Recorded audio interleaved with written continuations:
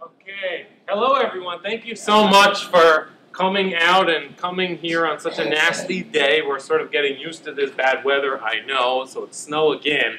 Um, but you'll be very thankful and appreciative that you're here today because we have an incredible guest speaker. And his name is Michael Maynard, and he's the Director of Corporate Communications for Textron, which is headquartered in Providence, Rhode Island. It's a Fortune 500 company that employs over 35,000 people across, I believe, 20, 25 countries around the world. Michael is also a graduate of the University of Rhode Island's graduate program in community planning and development, and he did his undergraduate degree at George Washington University. We'll forgive him for that, but it was, it was in political communication. And he's just delighted to, to be here today. We thank him so much also for driving across the whole state to be here to talk to you about his job at Textron, what it means to be director of corporate communications for such a large company, and also his career path of how he got into this position and how he rose through the ranks at Textron so quickly to take on such a prestigious managerial position. Thank you, Michael, for being here. We really look forward to hearing from you. Thanks. Well, that's, that's a great introduction. I hope it uh, lives up to its, uh, to its billing, certainly.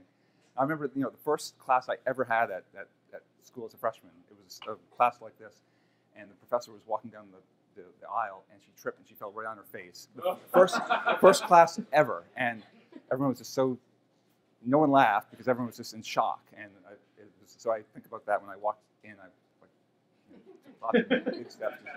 Didn't want to embarrass myself this way. Maybe by the end I'll be embarrassed, but not, not right away.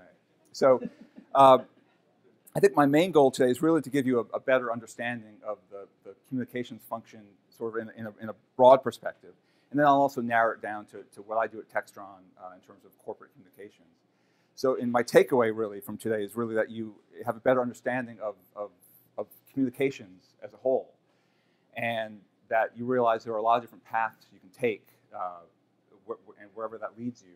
Uh, so you know you may set out on one one path and then totally do a zigzag to something else, and, and that's okay too. But if you have sort of a, real broad understanding of communications and you you have the, the, real skills, the writing skills, the, the communication skills, the people skills, uh, that can take you in a lot of different directions. So, uh, and also uh, you'll be hearing throughout uh, as I, as I talk um, how networking and just you know taking that extra step and you know you, you meet someone uh, and that leads to something else someday. It's it's sort of you know I, I like to say it's who you know, and that sounds really bad, like I know a guy kind of thing. And but in, in a lot of cases, you know, you know someone and they they they see what you can do, and then that leads to something else, and that leads to something else. So uh, I think you'll hear that throughout this talk too. That you know, never discount uh, taking that extra step, talking to that, that person, doing that extra assignment for, for your employee, for your employer, for your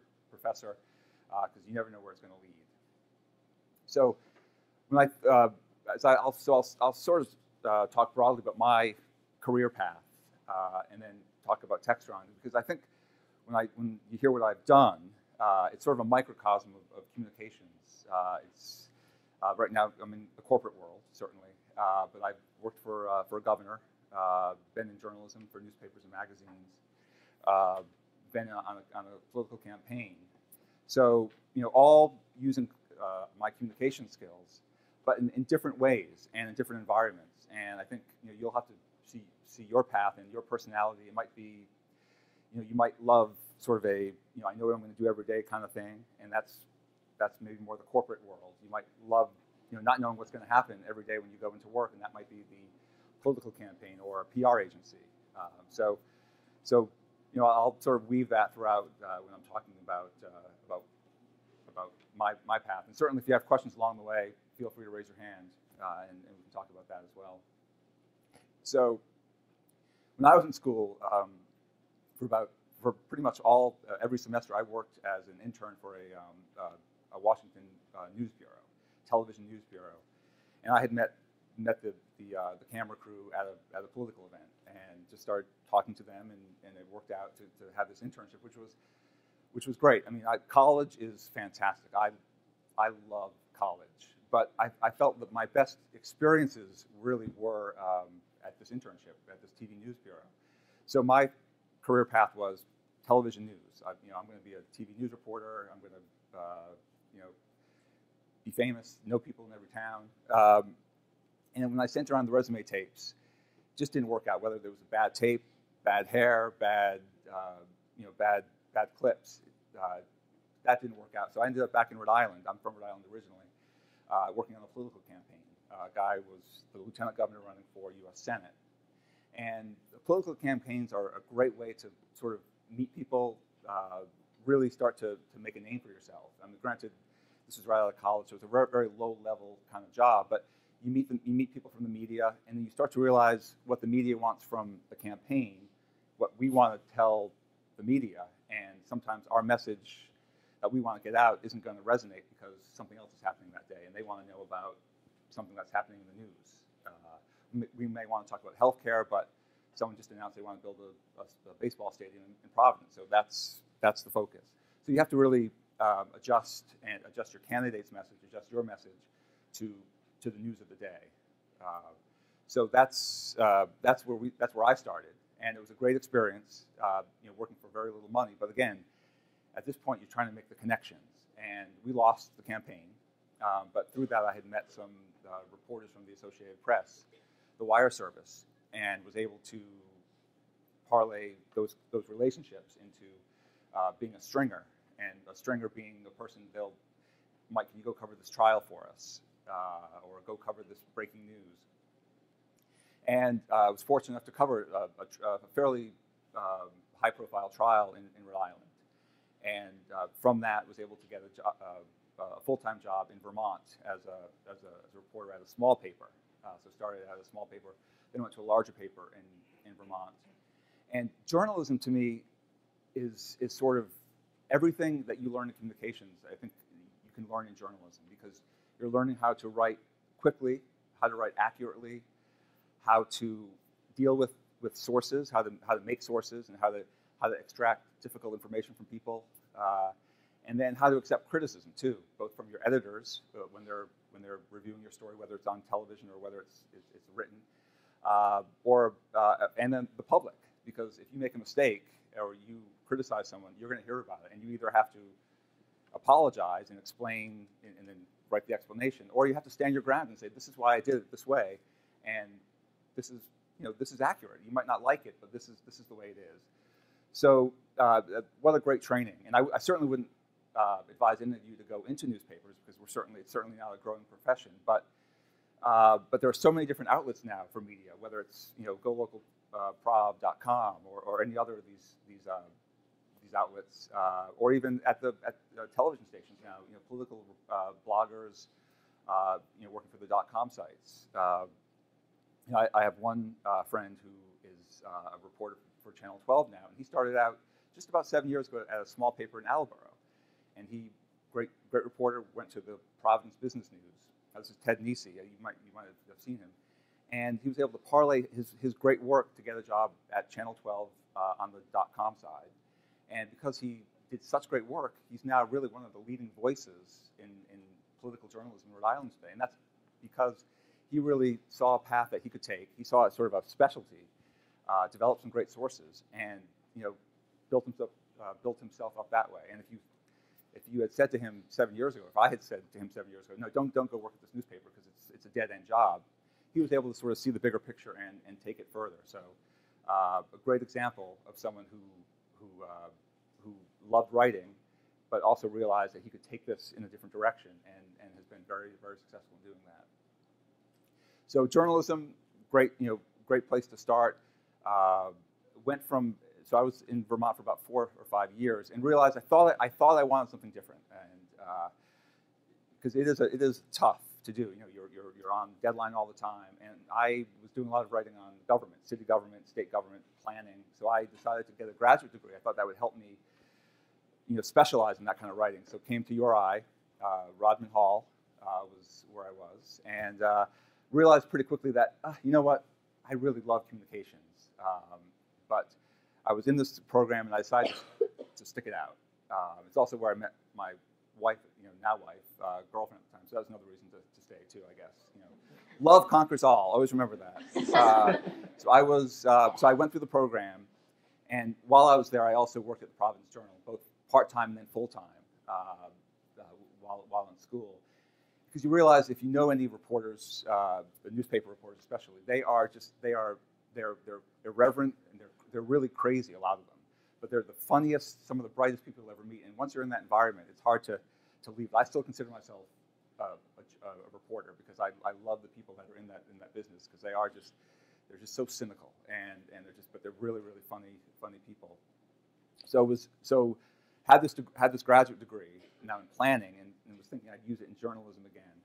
And my my then fiance got a job in Washington, so I moved down to, to DC with her. And this started a period where and you you might all go through this period yourselves in, in your lives, where I got a job at this agency that did some writing for government uh, government agencies, and it just was not the right fit. And you're just like you're miserable every day. Oh, I have to go to this job, and I didn't like the job, and, and they didn't really like like me, and it just was not a a good fit. And uh, so, knowing that I probably was not going to survive too long because of them, they were probably going to get rid of me. I went to an, uh, an association of landscape architects. That's sort of now I'm sort of getting closer to where I want to be. You know, writing, uh, starting a newsletter for this Landscape Architecture Association, planning, still not quite where I want to be.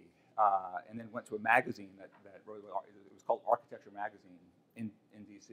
And uh, now I'm sort of feeling like I'm, I'm back on track a little bit. But um, uh, that magazine Manhattan, which we did not want to move to. So came back to Rhode Island and went back to the Providence Journal uh, for about a year and then uh, you know you felt grounded again. So I guess when I'm when I'm the point I'm making is that for about three or four years, you know, I just felt I'm you know I had I had my wife, you know, like I said, love I had love, uh, but uh, just professionally, it just felt really really sort of swirling.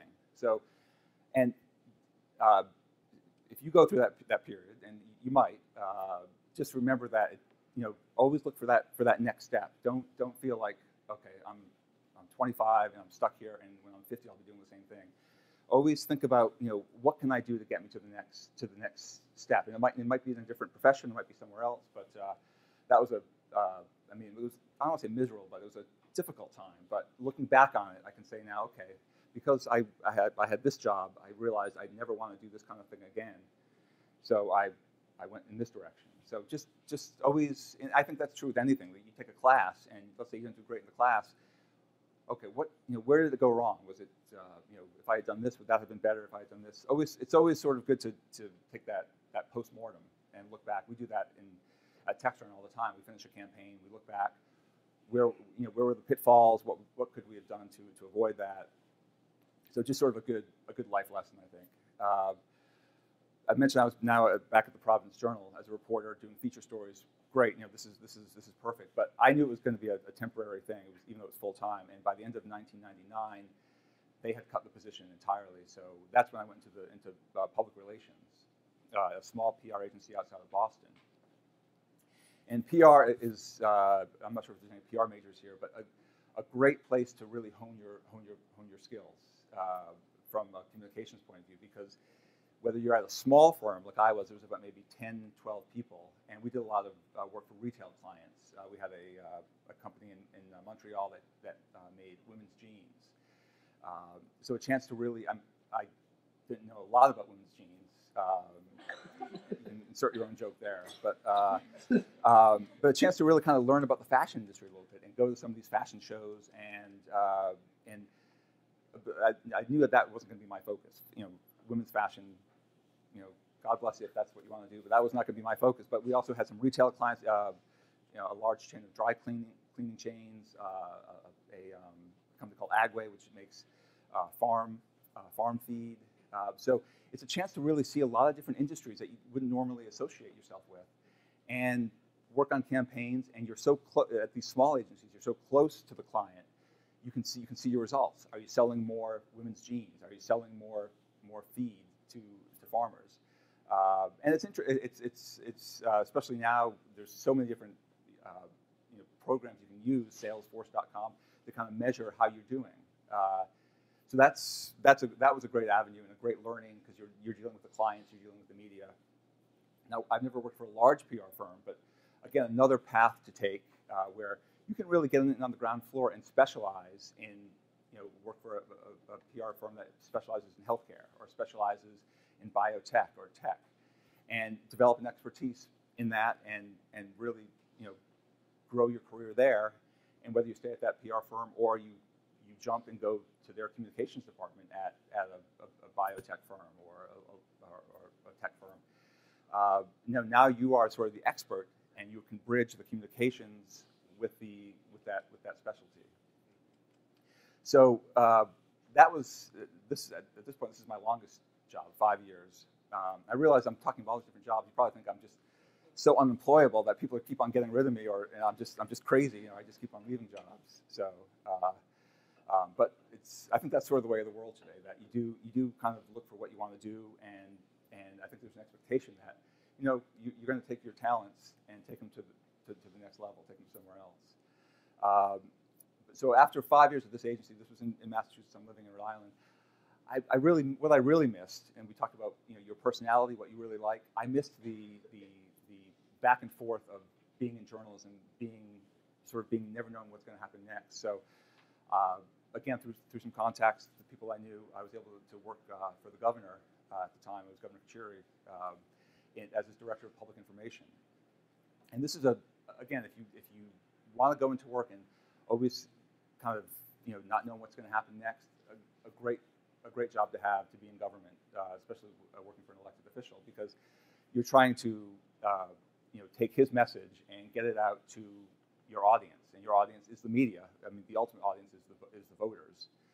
Uh, so you know, I uh, I did more the what we call the offense. I was the public information director, so I worked a lot on his on what he what he wanted to get out in terms of you know healthcare reform or uh, or wellness initiatives or uh, you know pension pension types issues. Whereas the, the press secretary was the he played defense. So any issue that came up, whether uh, whatever the issue was, was what does the governor have to say about that?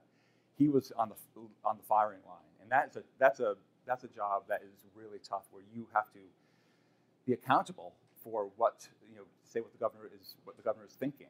And granted, you're you're you know hopefully meeting with the staff and figuring out what to say, but whatever you say is could be broadcast, broadcast uh, you know to everyone. So any any mistake, any any mis, misstatement, uh, it's on it's really on you. It's on the governor uh, ultimately. But uh, so that's a job where you really have to think on your feet, and you have to be nimble and uh, and, and, really smart about the issues you know, throughout throughout the state, and and know, it, you know, you might not know what's going to happen next, and but you have to be ready for it.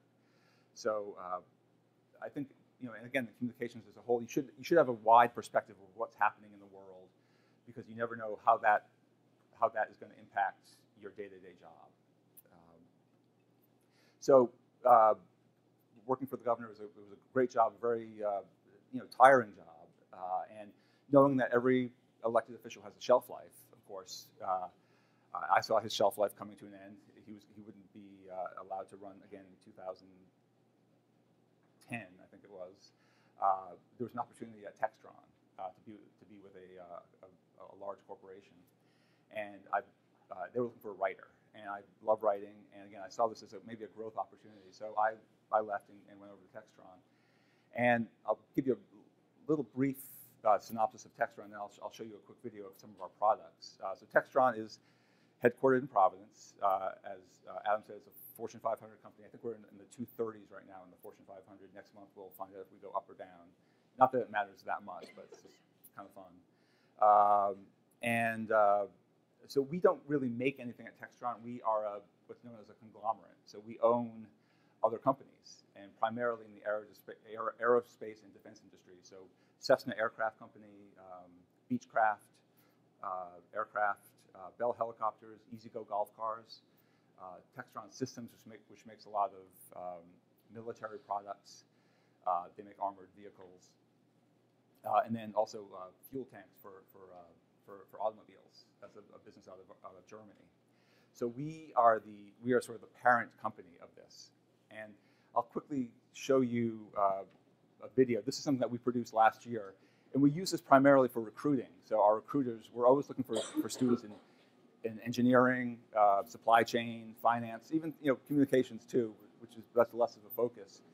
Um, but this is a video that we we uh, worked on with our we have a video crew that we work with very closely, and uh, this sort of it's a two and a half minute video. It'll show you sort of the, some of the products that that we produce, and uh, the second half of the video is sort of opportunities for for people like yourselves.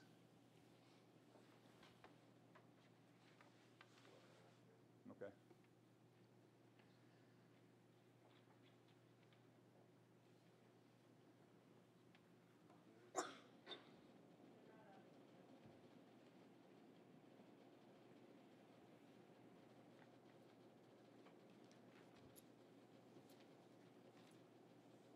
I'll let you. Uh, Any monitors in the back?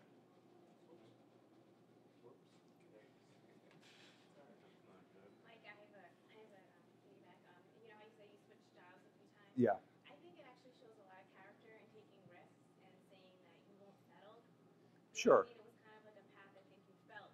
Right. You know, you had character, you had these skills, and you Yep. knew you could better fit another company. And all Right. your experiences in the conglomerate made you where you are now. That's true. Yeah, and and you you leave you don't uh, I never leave a company by burning any bridges, as you say, or you know it's always leaving on very good terms. But uh, networks and connections with Right, more people right, in right. So actually, it was an advantage for you. yeah, yeah, yeah. No, I thank you. I feel, I feel better about myself now. I was just drawing on what you were saying. I suck. That's But they, they, companies say though on your resume, you know, and you jump from job to job, but you don't have to do that. You can tailor it to the job you were actually going to apply for at that time. right, right. But there was a time when I was talking to a friend of mine in Washington. He's like, "You're moving again?" I said, "Yeah, it's all good. It's all good. Really, it's all good." Okay.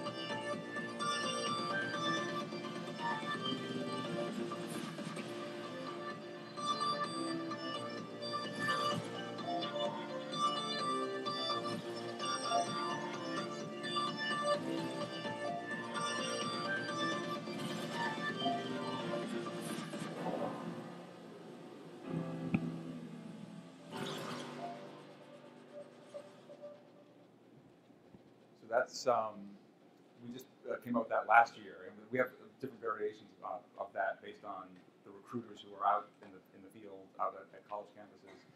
Uh, there's some that have interviews uh, with, with you know quick interviews with with, uh, with people who work who work at Textron. So uh, that's um, that's sort of a uh, sort of summary of, of our product. You know, airplanes, golf cars, and that's so internal communications at Textron. Uh, you know, so each of our businesses run separately. Uh, they have their own communications department, and they, they're really more focused on uh, you know selling products. So they're working with the media, working with customers, and from Textron corporate point of view, as I said, we're the parent. So we do uh, all the financial reporting happens out of Textron. You know, we're known to Wall Street. We're, we may not be known to you, but uh, we're known to Wall Street because this is where uh, investor relations is, finance, treasury, and corporate communications. Uh, we have a sort of a structure where I lead our internal communications team, and we do. you know, our role really is to is to take the messages from from Textron and get that to all the businesses. So you know, our CEO has an expectation that people are not going to stay in their jobs forever, uh, like you were saying before. You're always going to grow. You know, we don't want someone sitting in the same job for 10 years and saying, "Oh, this is good. I'm comfortable." We want you to get to that next level. So, so how do we do that uh, as communicators? Well, we we've developed a few different channels uh, through uh, through our intranet, uh, which reaches all 35,000 employees. We try to get that. Uh, you know, get those messages. We have a, a new channel just for managers. So you know, how do we get videos? How do we get something called job aids, you know, talking points, get those to, to managers so they, they, they have access to this, this special channel on, on our intranet. Same thing with people who are, who are younger who may not have any people reporting to them. We want to give you some career advice. We want to give you tips, uh, you know, ways to talk to your, your manager. So special videos for those people, special uh, articles, things like that. Really trying to tailor the message to, the, to these, uh, you know, to our, to our audience. Uh, recruiting is another thing that we do. So, you know, how, how what do the what do the kids today want to know? And you know, working with our recruiting teams, you know, how can we tailor messages for them? We work a lot with uh, Twitter, uh, Facebook, uh, and and create messages so these recruiters can go out and use those when they're going to be on campus. Uh, and then on the other side of internal communications is just the, the benefits, you know, the health benefits. You know, we we are we uh, control all the all the healthcare benefits for our, our, our employees. Not always a great message to deliver, right? You know, costs are always going up. So we try to communicate in, in a very honest way and with, with infographics, with uh, you know, other types of ways that aren't so text heavy uh, about you know, why the costs are going up, you know, you know, why they have to go up, what you can do to control your own costs. That's not really the fun part of the job because it's, it's never really delivering good news. Um, so that's I, am kind of uh, I want to leave plenty of time for questions. But that's sort of what we do at, at uh, in terms of corporate communications uh, role at Textron. And really, uh, again, tailoring messages, uh, finding different channels to deliver these messages, and then always measuring. Is it successful? Are, are people reading this? Are people clicking on this? If not, let's go back and, and, and you know, do maybe voice of the customer or do focus groups and figure out how we can how we can uh, how we can better deliver the message that's, uh, I'm going to open up for questions. Uh, if you have any, uh, I'd be glad to, to answer them. Uh, and then you know, move, move on from there. Yeah. Um, how long should one aim to move up in the industry? Like, could you provide us with tips? Because I know that you you kind of moved uh, up forward um, through all these different experiences and jobs, but in this one particular career path. At Textron? Can Yeah. you repeat the question to everyone too? You're, you're saying how can how long should you expect to stay at a certain? Yeah, a certain level. level before moving forward, and then what tips could you provide us with how to move forward in you know less time? Sure. Um, you know, it really. I think it really depends on.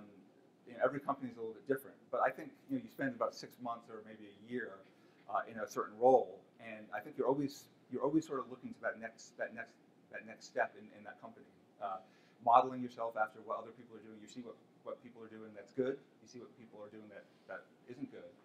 Uh, but I, I, you know, so it really varies. I was in my first writer position role for about a year, and then uh, we actually had some, major cuts because of the economy. So I was actually able to move up.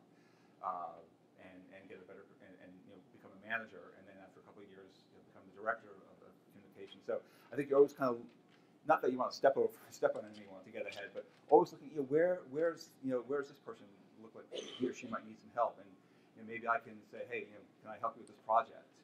And if you get yourselves, you know, even on like a cross-functional team where you're working with someone in IT or working with someone in finance, you're you're getting your name out there. Like I was saying before but making contacts, right? I mean, even within your own company, you can always make contacts, and you know, all of a sudden you become known as sort of the go-to person. And boy, she can really get the job done. Someone else hears about you. Uh, so I, I don't think you can necessarily you know say I'm going to be in this job for this this long and then I'm going to move on. But but I'd say you know within six months to a year, you start to at least start thinking about you know what's what's next. Uh, yeah. Yeah. Go, yeah. Um, how important is face-to-face communication in your company, and uh, do you send employees on business trips for meetings, or do you prefer video conferencing? Uh, Face-to-face is still really important. Uh, you know, you can only, I think we're so used now to, to, to emailing someone, and uh, that's a lot easier a lot of times to say, this is sort of a difficult conversation, so I'm just going to email, and then it's back and forth and back and forth, and then who knows what, what you were talking about in the first place. So um, what we try to do a lot of, and it's not always easy, is, is, is do the face-to-face meetings. A quick, even like a, we call it a stand-up meeting. So can we meet for 10 minutes? And we're not even going to sit down. Let's just, um, you know, let's not even stand. They've even, you know, like even this desk is a barrier right now. So like just all these little psychological things. So you know, stand over here and, and talk rather than stand, uh, uh, you know, having something in between you that, that creates that barrier. So we, we do a lot more face-to-face meetings than, than we used to because uh, it just it gets things done a lot faster. And then in terms of business trips, we don't really. If you asked me seven years ago, I'd say yes. I mean, people are traveling everywhere. I mean, just the corporate expenses were just. You know, it was you know it was champagne and well not champagne, but it was just like you know just you know you could go. I want to go here, go fine. But you know since the downsizing, and we've downsized a lot. Um, a lot more is done now. Um, we don't use Skype that much, but we use um, a lot of the video uh, conferencing. We use something called Microsoft Lync, uh, which which uh, is a way to, to, to chat uh, in real time. So um, we look. I encourage my team to go on to go on professional conferences. Uh, someone just sent me something yesterday. He wants to go to New York City for something in April, and we do have a budget for that because it's it is important to to to not network with just your own colleagues, but to you know to have that wider view. Uh, International Association of Business Communicators is a, is a great organization. They have a lot of jobs. I was just helping an intern uh, two days ago. IABC.org or .com has a lot of great jobs out there, and they have some good conferences. PRSA uh, has, has has a job board too. So um, so when you meet these people from these organizations, it's it's it's, uh, it's great. So I we do do some, but not as much as we used to. You had said that you had an internship in your undergrad years that you stick, stuck with for Mhm. like multiple semesters. A lot of us are in the process of getting internships or we already have one. What advice would you give? Would you say that it's more beneficial to stick with one internship and like build a relationship with that company, or do you think it's better to jump around in your undergrad years and get as much experience from different places? That, that's a it, that's a good question. I think it, it varies. If, if you feel like you're at an internship and you're actually contributing a lot to it, and you're you're going to grow in that. Uh, we have we we had two interns every semester, including the summer, and we started last year actually paying them. So we had two interns last last fall. They were so good that we, we had them this semester, and we, we're giving them more responsibility. So if you think you can get more responsibility at this internship, take it. Especially if it's if it's in a, a, an industry or a company you think there might be some potential for full time employment. But if it's I like it, it's not great. But I have a chance to do something else at this company. I'd certainly jump at that. So I think it's really it's I, I listen to your gut a lot of times, right? If you, if you feel like it's right, then I, I stick with that. Um, yeah. Um, So I know that you um you said that like uh you know communication and journalism went hand in hand. Just what were some of the difficulties in um transitioning between uh job in journalism and PR? Oh, that's that's a very good question. Can you repeat the question? Sure, I'm sorry. Yeah. So the difficulty of transla- transitioning, transitioning, of saying the word transition between uh, journalism and and PR, and uh, uh, part of it is, I think a lot of people who go from journalism to PR feel this way. I know I did. You know, when you're in journalism, you're sort of on the side of, of God. you know, like truth and, and justice, and you know, you're it's a, you can be a little arrogant actually because you're you think you know I am this is the way it's going to you know I'm, I'm speaking truth, and when you're in PR, you're you're trying to tell that journalist, your former self, uh, you know, I have this great product, and it's you know you really should do a story on it, and uh, you know, can I send you a sample? And you, it, there, there's a little bit of that. I mean, you have to recognize that you, you are now in PR, you're working for a, a, a, customer, a client. When you're in journalism, you're working you're working for the public, sort you know, sort of. Like that sounds a little self-serving, but you know, you're, you're working for for for, for truth. So, so that's that's one of the things yeah, I had to get my, my head around. That you know, uh, they, they call it going to the dark side. You hear that a, a lot. Um, but also just um, in, in communications, there's a process. All of a sudden, you have to you know you have an idea. You have to go to your you have to go to your account manager. You have to go to the customer. You have to go. There's a lot more steps involved. Whereas in journalism, it's get the story, you know, go through the editing process, and, and you're, you're done. So it's it's uh, there, you have to have a little more patience. Uh, but ultimately, I mean, it's very rewarding too, because you do you, you do see you know you do you're, you're helping someone someone's business, uh, and, and or, or you're communicating an idea that's getting out there. So so that's that was probably the big, those are probably the two biggest things: the process and just the psychological part. Yeah. uh, excuse me. How important do you think it is to, on the path towards success, fail and find yourself? And have you learned more from your failures than your success? I, I think so. I mean, if you asked me at the time, I, I'd say, oh yeah, I'm sorry. Uh, do, you know, what do you learn more from your failures, failures than your successes? I think you learn a lot from your successes too. But um, certainly, when you do something and it doesn't work, you know, you, you have to reevaluate. I think I said that earlier. You have to just okay, step back and say, what did what did I do wrong? What did someone else do wrong? Uh, and how can I not? How can I avoid that next time? So every experience at the time might not be a good one, but but when you look back at the totality of, of what happened, and I think you can even do that now, like I said, in your college career. You know, you look back and you say, okay, I, I at least learned from this, and uh, and hopefully, you know, so you don't make that mistake again. But there's always there's learnings, I think, in, in everything that you do, uh, and but, but in same thing with success. You know, you know, this went really well, uh, but I think we can learn from that too. You know, what could we have done even better? Uh, that, feel, that certainly feels better to be successful, to have success. Um, how do you keep such a tight knit communication with such a large? Uh, how do you keep? See, I'm, I'm learning from my failures. I'm not repeating the question. how do you? What was your question? I'm just kidding. Uh, what was? Uh, how do you keep such a tight knit? Uh, how do you? How do Don't, you- uh, don't I got it? I got it. how do you? How do you? Um, okay, go ahead. you How lost do me. you communicate with all your employees with such a large company? Are there like smaller departments or? Oh, okay, so yeah, how do you communicate with such a large population? We're talking 35,000 people, and how do you get that message message to them? We, as I mentioned, we have our businesses, and they each have they have communications teams, and, and their primary focus is you know external, getting getting the messages out to, to customers and to, to the media. But we work with them too. Um, so so let's say we're you know our our CEO, you know he really wants to talk about you know talent development.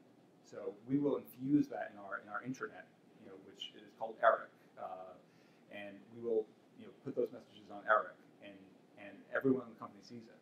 Uh, and, and and again, we're, we're we're specializing in these different channels, these the manager channels, the uh, the individual contributor channels.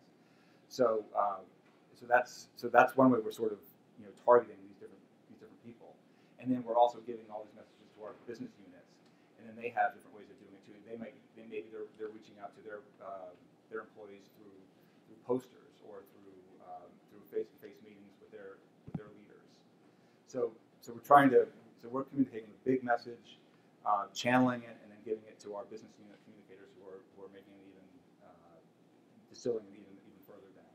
And one one thing I wanted to mention is uh, you know there are about fifteen thousand people who work we call them non-network employees. So they they are, they work on the shop floor. They're the ones making the helicopters, making the, the golf cars, and they don't have access to a. They don't sit at a computer all day. Uh, they have to either go to a kiosk or they can log in at home. We have a, a, a system to log in at home. It's very it's a very convoluted system. This year, our big initiative is to reach those non-network people because we don't want them to feel like they're sort of left out of, of of all the messages too. Uh, we're relying on their supervisors to give them the messages now. So we have a campaign to, to unify unify that that group of people as well. Um, yeah. Well, first of all, I just wanted to say I love the golf carts, the E-Z-GO golf carts. They're Yeah. So much better than gas. They're the electric ones, right? We, we make both. So, well, the, I love the electric ones. But, anyways, my question is in communications, I never hear any students talking about wanting to go into a sales occupation or something like that. And I'm in public relations right now, and Yeah. I feel like you, you learn a lot that can benefit you in that kind of field. So, someone over there was saying before that, you know, how does the uh, video conferencing and e like media Yeah. kind of stuff, how does that all connect to your personal communication line? How is the how is the sales force changing? How how are they changing? Are they still going on business trips and everything, or is it more video conferencing and emailing and just not as much face to face interaction with the employee? That's that's an uh, interesting question. So how does the, how is the sales sales force changing? Uh, they still they, they're still they're still out there because in sales it really is all about the customer. So they are out there. Uh, actually, we are actually increasing our sales, our, our local sales forces. You know, we, we sell things all around the world, and a lot of time the, the, the trend had been to um, to, to outsource to use third third party sales sales uh, people. So sales party reps, I think they call them. So you know, they might they might try to sell a Cessna plane, but if they can sell a a, a, a Learjet, they'll sell that too. Whatever they can make more money. We we found that you know you have to be you have to be in that local community. So so we have a big presence in the Middle East right now because that's where a lot of the sales are taking place. So we're, we're beefing up our sales, especially on the aeros, aerospace side. Uh, you know, golf. You mentioned golf. That's that's actually sort of a dying. Uh, it's it's a it's a shrinking industry in most places, but like in Asia, it's still a very it's a it's a big market. So we have more salespeople now in Asia, uh, you know, making those those local connections face to face. So yeah, that, that hasn't changed at all. That's actually increasing. You know, that's that nothing's changed with that. Um, you talked about tailoring your messages. How do you tailor your message to your employees and companies in other countries? That uh, for that, that's a, uh, how do we tailor our message to employees in other countries? Uh, we do a lot. Uh, so our other countries are uh, uh, the biggest one would be Germany. Uh, Kautex, have seen, uh, they make uh, plastic fuel tanks. So they are in, they're in Germany, uh, and we work very closely with, with our German counterparts there. To so here's our here's our message about talent development, for example. Uh, they'll they'll take that and they'll they'll tweak it uh, you know, not just not just translation wise, but but culturally, you know, so they'll they'll change it around for that audience. Uh, China, we have a China office with uh, two communications people in China, and same thing. You know, here's our message. We'll we'll get on the phone with them and share it, and then they'll say, okay, is it okay if we take it and now we're going to say this, and and you know, we're generally fine with that.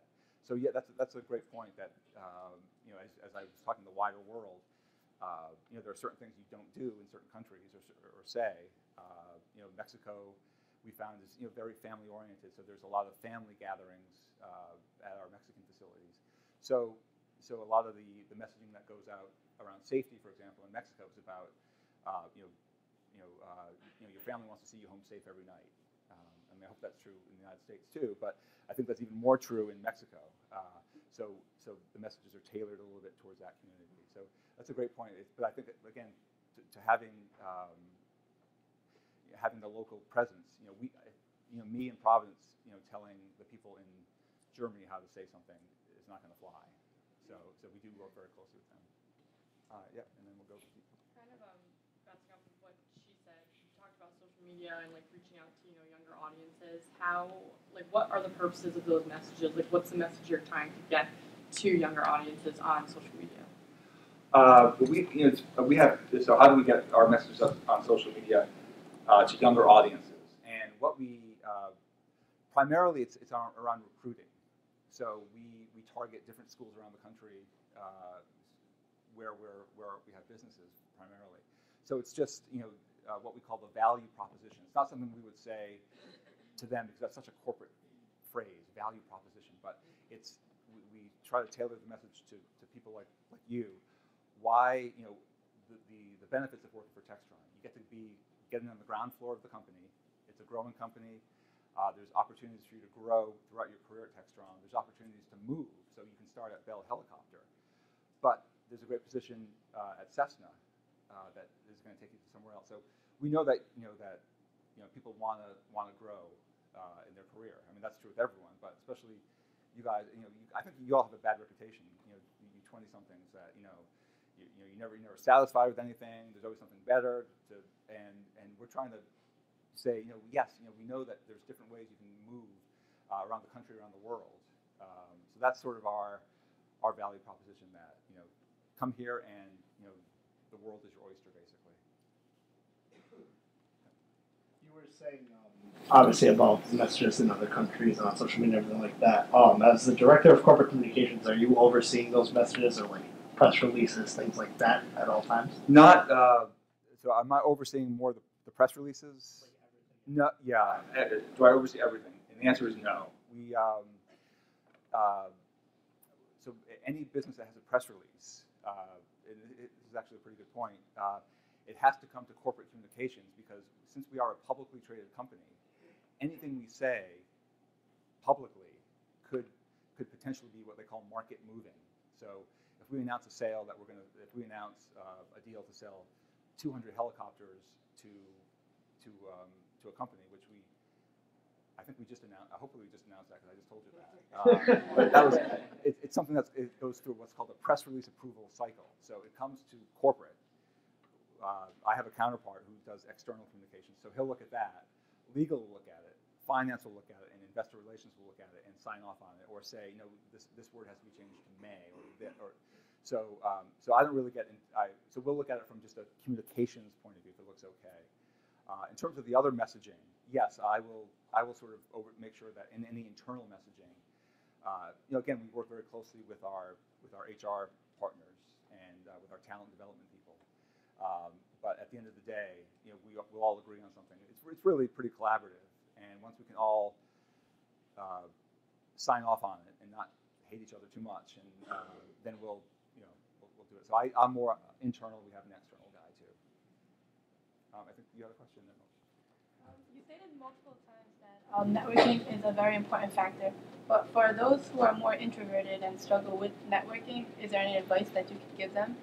Yeah, and I, I actually mentioned uh, so any advice for people who might be, be more introverted about networking. And I meant to actually say that at the beginning because I consider myself sort of a introvert myself. I'm not a type of guy where it's like, "How you doing?" You know, that kind of where you're just like out there. It's just, I think uh, when I say networking, I think you know for, for someone that might be a little more shy is, you know, if you get an internship, uh, you know, let your actions speak for you. Uh, so you know, you do great work you ask your supervisor, what else can I do? Or, you know, is, is, is could we do this? Uh, you know, I, like I said, we have two interns every semester, and they're always, some of them are always coming up to me and saying, what can, you know, have you thought about this? And a lot of times it's, you know, no, because you can't do it that way. But fact that they're thinking about it really impresses me. The fact that they're, they're actually kind of thinking big, big picture is great. Uh, and, uh, and that may lead to other productive conversations. So I think if, you know, uh, if you don't have an internship yet or you don't have a, a, a job, I think it's just it, even if it's approaching someone after after a lecture or after uh, or, or, you know seeing someone uh, who has another a peer who has an internship, you know, you know how'd you get that? You know, just sort of with that one-on-one stuff. Is there an etiquette, Mike, for communication in the workplace, if we stick with thinking about internal communication, what are the do's and don'ts of personal communication at Textron internally? You say personal communication, you mean social media, personal email, blogging.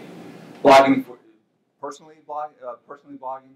Uh, there is a, I mean, I think every company now has a social media media policy where, uh, you know, you're you're free to do what you want to do on your own personal computer, but certainly you wouldn't use your your your work computer for for uh, for, for, for, blogging. Uh, and you know, I don't I don't think we monitor people's blogs. Uh, I, I, hope I, I, hope we don't do that. I don't have a blog, so I'm I'm I'm, I'm clear whatever happens.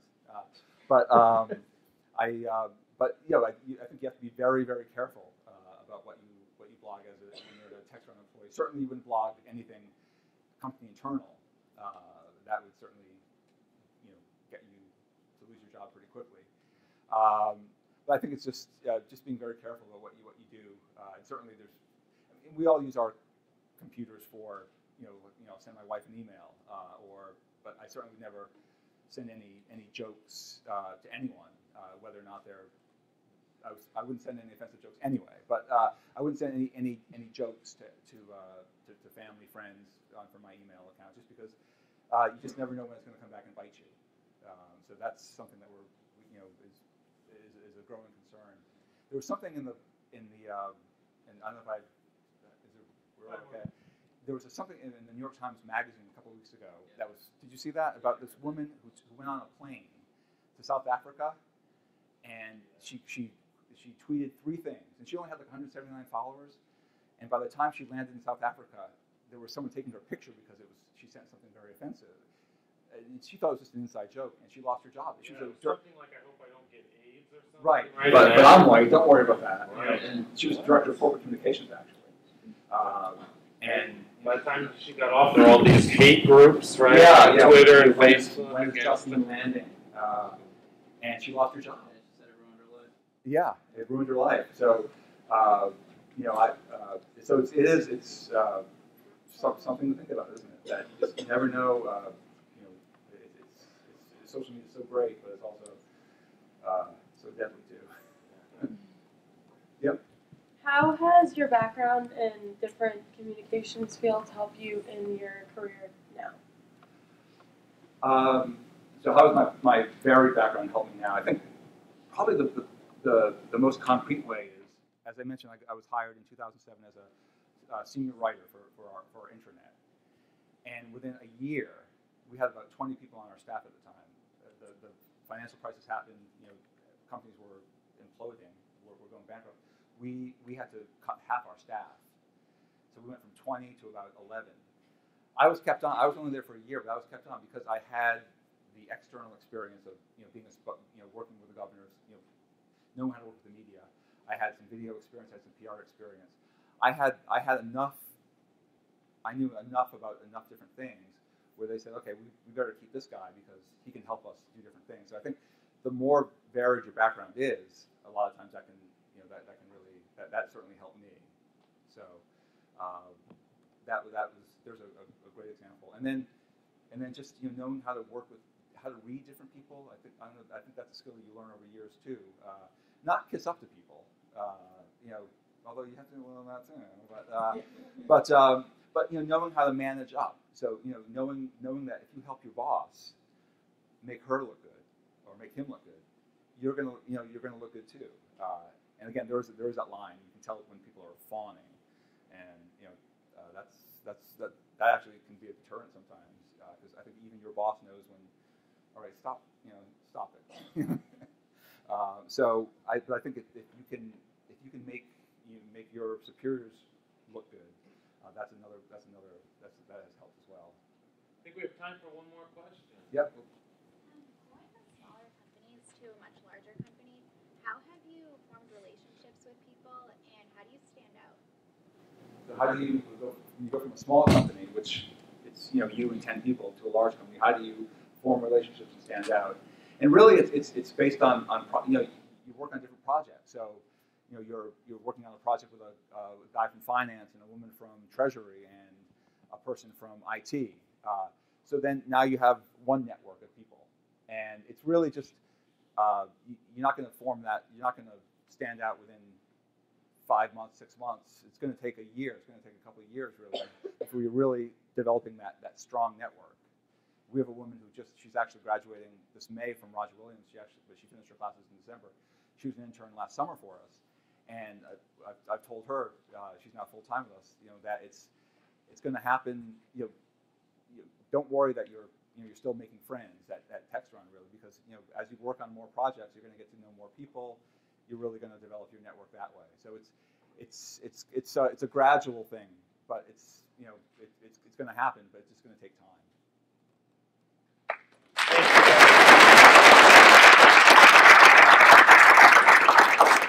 And I, don't have any I don't have any cards with me uh, but I, my email is uh, first, first initial, last name, so M Maynard, M A Y N A R D, at textron.com. If you have any follow-up questions or any, anything, feel free. I'm you know, glad to, to, to help out. Michael, thank you so Oh, much for you. your very informative talk. Thank you for sharing your Sure. experiences and career path. And we have a small gift for you as well. We appreciate so much you coming all the way from Warwick here in a snowstorm to join us and for sharing knowledge about your company with us. And so we have a beautiful University of Rhode Island portfolio for you, so you can continue your habit of writing well and good. And of course, we want every alum to dress warmly in this weather, Oh. so we have a great URI sweatshirt for you as well. St. Joe's game on Saturday. Great. Great.